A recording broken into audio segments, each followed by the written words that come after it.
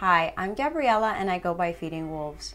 I've been using Unreal Engine for a little over half a year now, and I'm doing all-in-engine virtual production with an emphasis on motion capture. It was up until a year ago I was still working in the hospitality industry, learning how to be a filmmaker on the little time that I had off.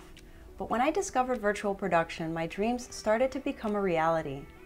Thanks to a suggestion by Matt Workman on his virtual production Facebook page, I installed Unreal Engine and immerse myself in the 3D world for the first time with the Jonathan Winbush Unreal Engine course on MoGraph.com, teaching me all the skills I needed in order to start creating. This was when I got my first taste of motion capture with the Manus Prime 2 gloves, leading me to discover Xsens.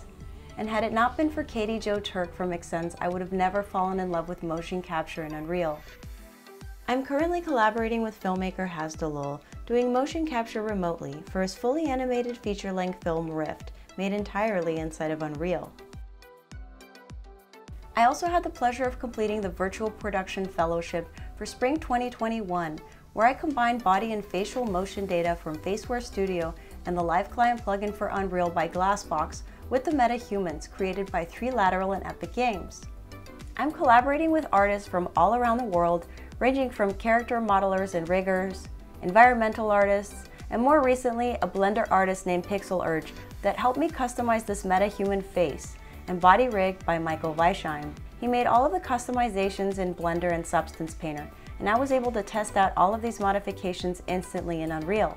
Now, in order to power the latest in virtual production, I needed some serious hardware, which is why I spoke with Puget Systems.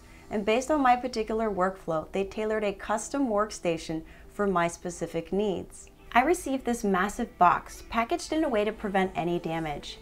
Puget not only cleaned and sanitized everything, they also tested it out, going as far as sending heat scans, providing instructions on how to unbox it, and even included cables so that nothing slows down my creative process.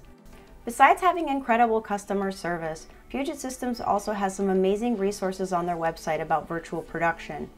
They also have a list of peripherals in case you're not sure what to get and don't have time to research them.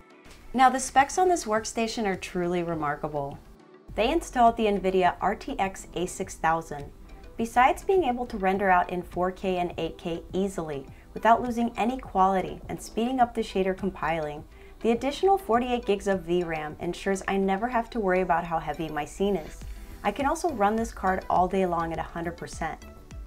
The CPU is the AMD Ryzen 9 5950X and has 16 cores, allowing me to run all of my mocap software simultaneously inside of Unreal without competing for processing resources, because motion capture requires a lot of data to be processed very quickly. It also has two Samsung 980 Pro SSDs, which reduce any latency, allowing me to save and open up projects very quickly so that nothing gets in the way of my creativity. What I love about virtual production is that now anyone can create stunning visual content. I love using this workstation every single day, being able to push boundaries I never dreamed of.